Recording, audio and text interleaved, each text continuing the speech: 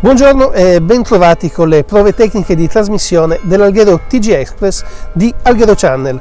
Oggi ci troviamo in diretta dai bastioni di Alghero con Capocaccia alle nostre spalle. Iniziamo subito con la cronaca. Tragica fatalità sabato pomeriggio nel porto di Alghero. Un 65enne algherese di nascita e sassarese di residenza è deceduto a seguito delle lesioni riportate dopo un volo di una decina di metri dalla torre di Sant'Elmo. Per motivi non chiariti, l'uomo è precipitato dalla caratteristica madonnina nella banchina sottostante e dai, al momento dell'arrivo dei soccorsi sembrava si fosse salvato, invece poi una volta arrivato in ospedale civile è deceduto a causa delle lesioni interne.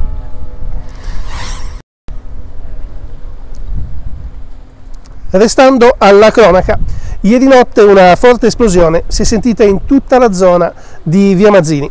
Attorno alle ore 21.30 un ordigno rudimentale è esploso davanti ad un panificio. Fortunatamente non ci sono feriti. Sul posto si sono recati i vigili del fuoco e le forze dell'ordine che hanno aperto la, le istruzioni del caso.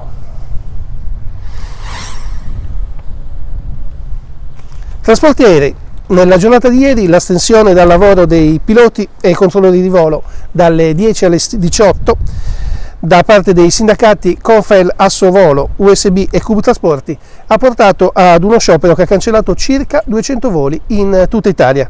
Tra questi due voli all'Italia che collegavano in regime di continuità territoriale Alghero a Milano e Roma. Si tratta dei voli per Fiumicino delle 12.45 e per Linate delle 14.20.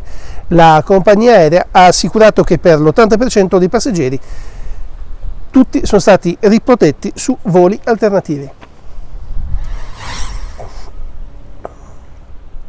Ieri mattina un chilometro di Corsa Algherese è stato teatro di un'operazione di pulizia sia via terra sia via mare. L'iniziativa organizzata da Lega Ambiente, partita dai pressi del Colle di Balaguer, ha visto la partecipazione dei volontari in pettorina gialla e di decine di migranti impegnati tutti insieme per raccogliere plastica, vetro e rifiuti.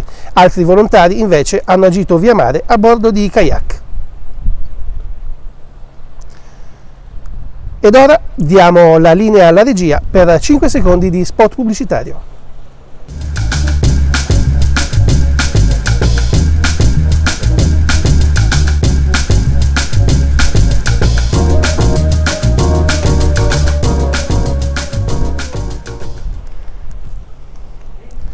Chiudiamo con lo sport, finisce con una sconfitta di un punto l'avventura della Mercedes Alghero nel concentramento 5 di pallacanestro femminile categoria under 16.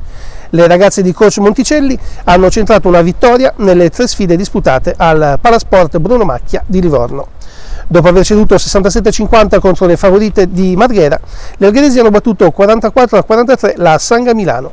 Nello spareggio con la Stella Azzurra Roma Nord, le algheresi hanno perso qualificazione è partita per 59 a 58. Con eh, questa notizia si chiude l'odierna edizione in diretta dell'Alghero TG Express. Vi diamo appuntamento alle prossime edizioni. Seguiteci sulla nostra pagina Facebook. Da oggi cresce l'informazione ad Alghero con TGS Express. Gli algheresi avranno la possibilità di avere più notizie in politica, più notizie di cronaca, più notizie di costume, più notizie di società. È veramente un modo questo per far crescere il pluralismo dell'informazione e per fare in modo che gli algheresi siano sempre più informati. Complimenti Fausto, ottima iniziativa.